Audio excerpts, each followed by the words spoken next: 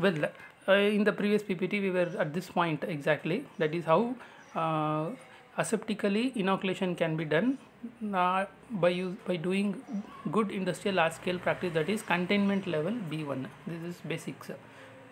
Next is spore suspension inoculation. See uh, mostly your inoculum may be a bacteria your inoculum may be a fungi. If it is bacteria uh, you follow the method same method.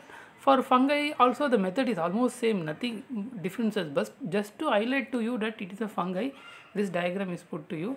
In this diagram you can see how spore if you see for example fungi has to be inoculated. Uh, fungi usually mycelia you cannot inoculate. So usually what we do we take spores of that particular uh, uh, fungal culture that suspension we make and that spore suspension is inoculated into the fermenter. In this diagram also you can see the same setup is there. Can you see some something written union? That union is what you saw in the previous slide a b. That a and b plug. When both the plugs are connected it becomes union. Whenever uh, inoculation is not done see just to inoculate when is inoculation done? In the beginning of fermentation process. So after inoculation, fermentation will happen for 4 to 5 days, 5 to 6 days. During those 6 days, this connection is not required, that union connection is not required. That is why uh, this connection is uh, detachable connection. So whenever you want to do, that is in the beginning of the fermentation, whenever you want to inoculate the organism to start the fermentation, that time this union, which is the union of A and B, which we you saw in the previous slide, A and B, plug so that time uh, they will connect it interconnectable it is.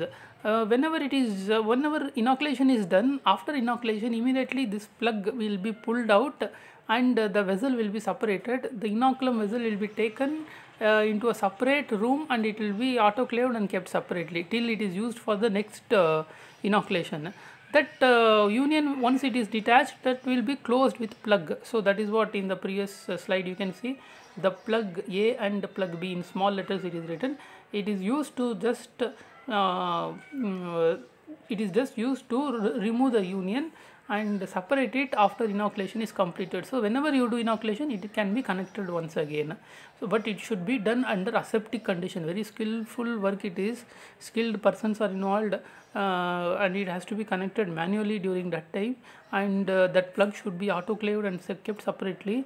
Uh, highly technically and skillful persons will be doing this because during uh, the joining the union contamination happens means nothing can be done. So it, has, it is very very uh, very important and uh, truly a microbiological work that is that joining the union.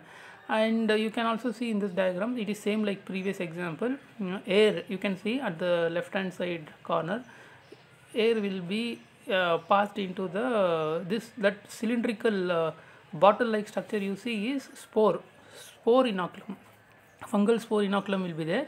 Air will be forced through the filter and with high pressure the air will enter into the uh, spore inoculum vessel. So what happens is the inoculum will flow through that uh, pipe. Because of the pressure it will the valves all the valves should be opened. The union valve you can see below that valve should be uh, also be opened. Uh, some valves are there which has to be closed which uh, which uh, which connects to the the uh, opposite sides that those, those should be closed. Only the required valve should be opened and steam valve. Before you do all these things steam should be supplied and it should be the the pipeline should be kept aseptic.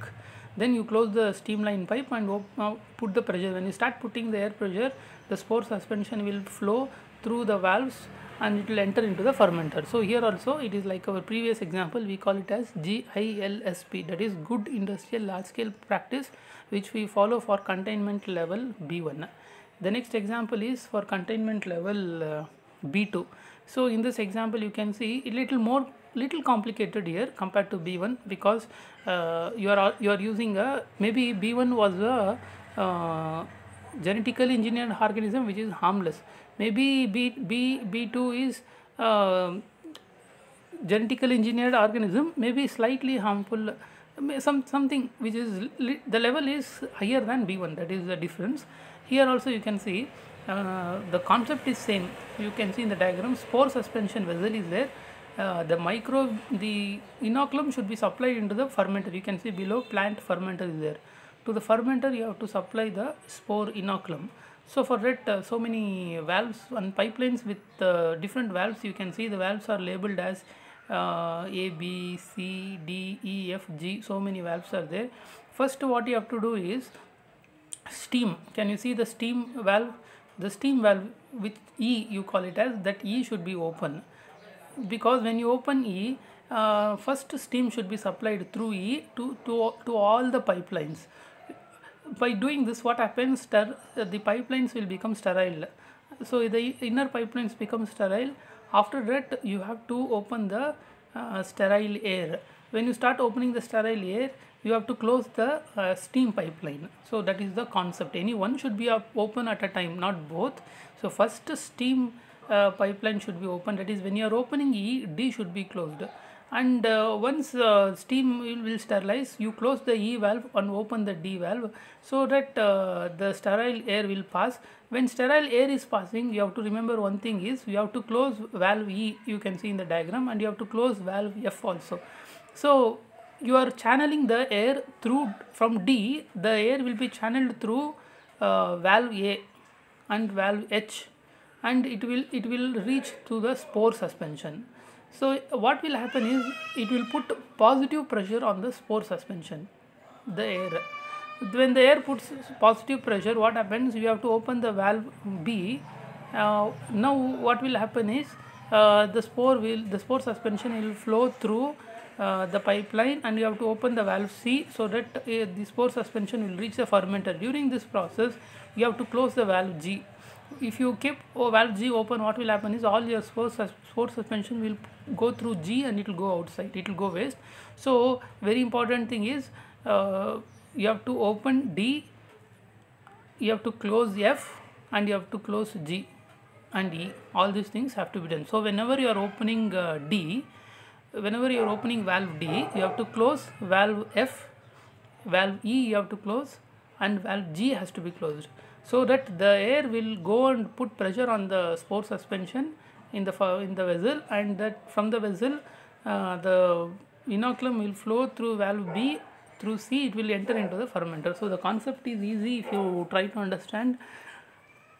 This is called as uh, this is followed for containment level B2 so uh, here also you can see that H and I is uh, detachable points. You can call it as or uh, sometimes you can because uh, uh, in the previous example you are detaching it uh, contamination may happen. If the person is not attaching it properly contamination may happen. Here that detachment need not be done. That is why it is called as level b2 if required because it is a separate loop. You can see DFG, DFC, DFC is continuously connected. Uh, A and B is present in on the uh, outer ring. So it is something like uh, when you close A and B, uh, contamination may not happen. So detachable, you, there is no need of uh, union here. There is no need of plug A and uh, B. So contamination can be avoided. For that is the reason for having this type of setup. We call it as aseptic inoculation for containment level B2. Next is aseptic inoculation for con containment level uh, B3 or B4. So for B3, B4 we follow this setup. Here also you can see the only difference is like uh, it is all like uh, the previous two examples what I told you. The only difference is can you see at the bottom uh, near the fermenter and between the fermenter and inoculum vessel there is one pipeline going and it is uh, the arrow mark shows to kill vessel.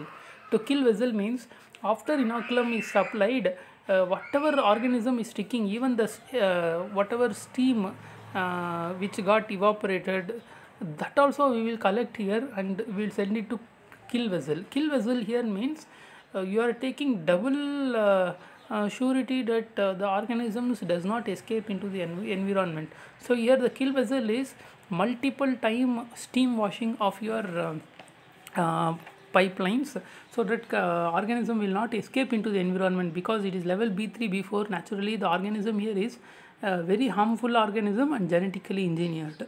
When these two are there it comes under B3 B4 and here the only difference is you can see uh, kill vessel. Kill vessel means uh, we will take extra precaution to kill the organism that and it should not escape into the environment. So for that we follow here. Otherwise it is almost same like that. And finally uh, in this di- uh, this diagram shows you uh, for very large scale fermentation this setup is used. Very large scale means in the all the previous examples uh, the inoculum vessel you saw was very small. Very small means it will be uh, something like uh, uh, 100 liters uh, 500 liters or maximum uh, 1000 liters like that. But here you can see uh, the inoculum vessel is uh, almost uh, uh, one fourth of the fermenter vessel. So you can call your inoculum vessel also like one more vessel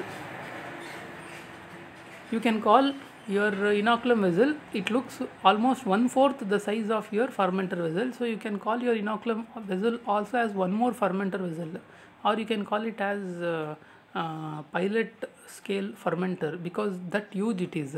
Uh, so such setup is used for very large fermentation. For example you are doing batch fermentation. Batch fermentation means adding the entire uh, uh, microorganism and media in one stretch. Batch fermentation. Suppose you are doing 1 lakh liter medium very huge fermentation you are doing. That time uh, your seed tank whatever is written here contains uh, it is something like a mini fermenter itself uh, or pilot fermenter we call it as. So the concept is same as what you have studied uh, uh, earlier. The only difference here is that uh, the inoculum size is uh, different. The inoculum size will be huge. It will look like two fermenters connected to each other like dual fermenters it will appear. But the concept is same here also. Steam uh, is there and uh, the steam pipeline will be uh, mm, opened. That is j will be opened. Uh, during that time it will d has to be opened and the steam will sterilize the entire pipeline. And you can see at the opposite end g valve is there. Through that the steam will be uh, so here steam can enter from both the sides. From g it can enter and from j it can enter and uh, it can it can be trapped and it can exit through the pipelines given below that is i and h. So uh, the setup is similar to what you have studied earlier. The only difference is here pressure is not put because the quantity of medium is so high uh, just you have to open the valve C and uh, from the seed tank because of uh, gravity the it will flow. And uh, here using the um, using the gravity from the seed tank the media can be made to flow through into the fermenter. Through the steam uh, jacket you can also supply the uh, what you call it as the air supply can be done. For pressurizing at the end you can supply the air to pressurize the remaining uh, uh, inoculum to enter into the fermenter. So with this we complete what we call it as aseptic inoculation into the fermenter. This is the last slide. Okay thank you